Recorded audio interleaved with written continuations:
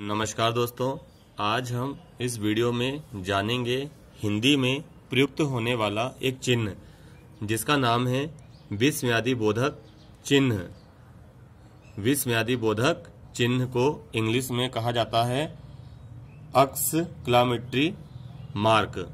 अक्स क्लामेट्री marks कहा जाता है।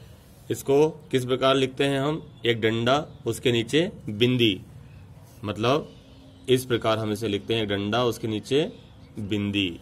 इस तरह के चिन्ह को हम क्या कहते हैं? विस्मयादि बोधक चिन्ह कहते हैं। हम देखते हैं, जब वाक्य के अंतर्गत, जब वाक्य के अंतर्गत विस्मय मतलब आश्चर्य, शोक, हर्ष, विषाद, अर्थात दुख, इच्छा, आश्चर्य, भय आदि के भाव आते हैं, तब विस्मयादि बोधक चिन्हों का प्रयोग किया जाता है। जब वाक्य के अंतर्गत दोस्तों, जब हमें वाक्य में विस्मय, शोक, हर्ष, दुख, इच्छा, आश्चर्य, भय आदि का भाव ज्ञात होता है, वहाँ पर हम इस वाले चिन्ह को लगाते हैं। इसको क्या बोलते हैं? विस्मयादि बोधक चिन्ह या फिर क्लामेट्री मार्क कहते हैं अंग्रेज़ी में। उदाहरण देखते हैं। अरे, यह क्या हो गया? शाबाश! तुमने बहुत अच्छा कार्य किया। तो देखिए, अरे के बाद क्या लग रहा है? विस्मयादि बोधक का चिन्ह। साबाश में क्या लग रहा है? विस्मयादि बोधक का चिन्ह। वह! कितना सुंदर दृश्य है। देखिए, वह! मतलब ये लड़की बोल रही है, वह! कितना सुंदर दृश्य है।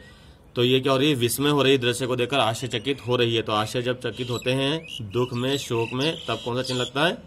विस्मयादि बोधक चिन्ह लगता है। मतलब ये वाला। हाय! मेरा सूटकेस चोरी हो गया। तो ये क्या हाय दुख का सूचक है? तो यहाँ पर क्या लगेगा? विस्मयादि बोधक चिन्ह। कितना सुंदर बच्चा है। तो यहाँ पर भी क्या हो रहा है? आश्चर्य। कितना सुंदर बच्चा है। तो यहाँ पर क्या लग रहा है? विस्मयादि बोधक चिन्ह लग रहा है।